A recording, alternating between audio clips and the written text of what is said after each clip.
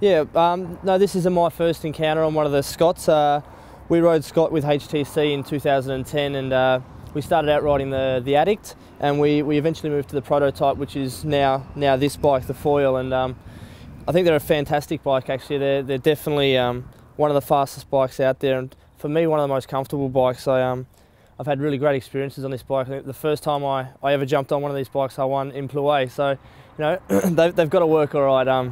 Great frames and uh, really just a great makeup with all the, the the equipment we have on there with the wheels, the the seats, the the, the group sets, and uh, you know they're I think they're definitely the nicest, if not you know the nicest bike in the peloton. This is pretty much a standard bike. It's almost exact. Well, I think it is actually exact same bike that I rode in San Remo. We have the same wheels. Um, the every only thing that's maybe a little bit different is the different uh, bin cages.